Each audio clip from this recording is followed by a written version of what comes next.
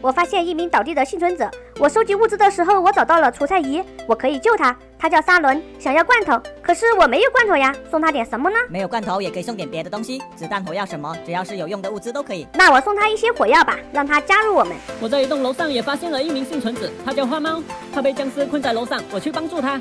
他想要一些碎石。他的子弹不多，我也送他一些火药吧。我劝你们最好不要送火药，前期我们的厂房生产缓慢，火药和弹壳这种物质最好不要送，留在背包制作子弹。我过来的时候看见一个巨大的网兜在房子上晃动，我们最好先完成任务线，会给很多奖励。我已经放置好了传送门，任务奖励五张传送卷轴。这栋房子里藏着一只拿盾的僵尸，被卡在门上。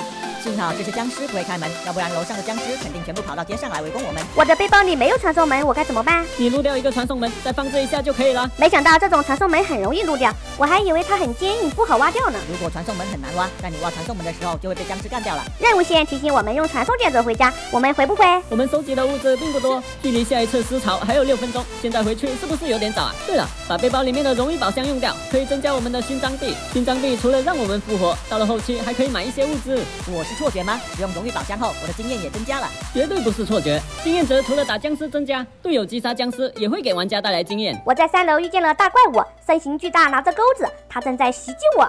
好家伙，这么大一只僵尸，穿着鲜艳，还挺洋气。地上有个大宝箱，快点抢物资！手速慢了，只拿到一个金羊的胸甲，错失了荣誉宝箱。我拿到一只伤害一千多的金羊九八 K，是刚才那只大怪物掉落的枪支。我把胸甲送给你穿吧，金羊胸甲可以增加血量，抵挡一些枪械的伤害。好家伙，楼上下来了好几只举着罐头的僵尸。那不是罐头，他们扛着煤气罐，会爆炸的。又来了又来了，我要赶紧溜。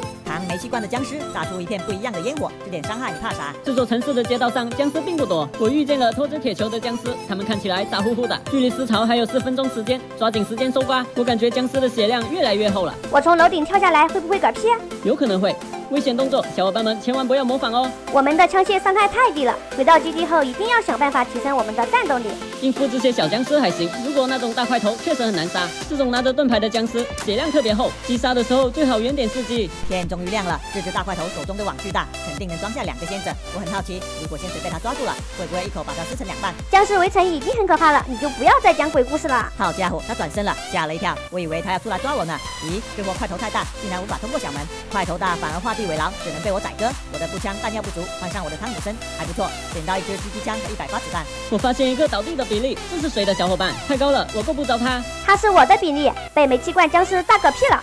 你们好像不能蓄力救别人的小伙伴吧？我自己来救他。距离尸潮只剩一分多钟了，我们回基地吧。我收集了一些铁栅栏，回去把基地修补一下。有传送卷轴就是方便，瞬间就能回到基地。你来修补栅栏，我巡视周围。我去挖些草块，在外面围上一圈墙，僵尸就无法靠近我们的基地了。不太好，土块阻挡了僵尸，同样也阻挡了我们的子弹。你这样弄一排草块，只会成为僵尸的垫脚石。尸潮来了，快回来吧！我给你留了一个门。我这支枪的伤害真高，穿透力也很强，唯一的缺点就是子弹上膛太慢。我手中的汤姆森还不错。僵尸集中的时候，火力也集中了，伤害不高，但连射也很给力。不好，居然还有会飞的僵尸，他们像无头苍蝇一样乱撞。前面的僵尸清理的差不多了，可以喘口气了。大哥，别顾头不顾尾啊！基地右翼还有一群僵尸，他们想从侧面突围。我们的栅栏坚不可摧，除了会飞的，这些小僵尸进不来，用不着紧张。第二波守卫成功，这一次得心应手，突然不觉得尸潮有多可怕了。你们不要忘记领空投物资哦，空投里面火药和弹壳挺丰富的，还有生产加速芯片，我们可以在军械所制作和升级我们的枪械。点开营地，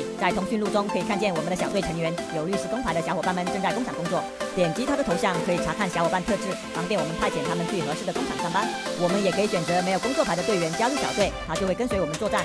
如果大家不喜欢某个幸存者，也可以与他解除关系。点击跟随的队员，我们可以管理队员的背包，更换队员的枪械，为他添加食物、子弹等。小师弟，你一直在掉血，你是不是被僵尸感染尸毒了？别提了，我也不知道什么时候被感染。要是再没有药的话，我就要嗝屁了。抵御尸潮前，先使用抑制剂，可以避免我们被尸毒感染。感染尸毒后，只有苦司令药剂才能解毒。抓紧升级武器，我们去城镇寻找苦司令吧。